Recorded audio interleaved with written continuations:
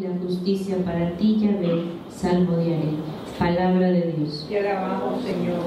Entonces, a veces traemos ese concepto equivocado o a veces ni tenemos un conocimiento de lo que es el amor.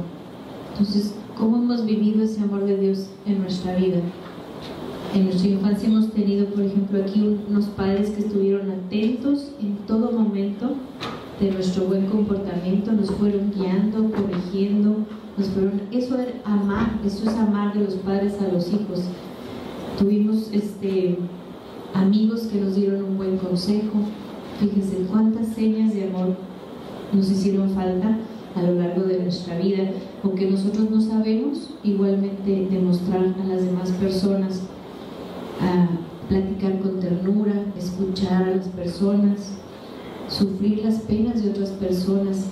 Otra cosa que, también me, mm, me, gusta de este mensaje que nos dice el Señor es que denunciar al, al mal, al demonio directamente con todo el conocimiento que nos está dando el Señor es una forma de amar porque estás abriéndole los ojos a la persona y esa persona en ese momento va a decir ok, no soy yo, no es mi papá, no es mi amigo, no es mi esposo es esta, el demonio que quiere acabar con tanta. En ese momento tú estás amando en ese, en ese simple hecho de denunciar la situación, de justificar a la persona, de hablar del perdón.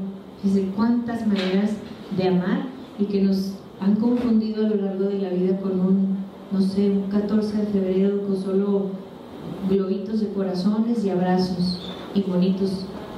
Y eso no es amar. Amar implica muchas otras cosas, sufrir por la persona, compartir las alegrías, etc. Entonces, ver que eso es realmente una enseñanza de Dios, eso es realmente el amor. Dice que el amor de Dios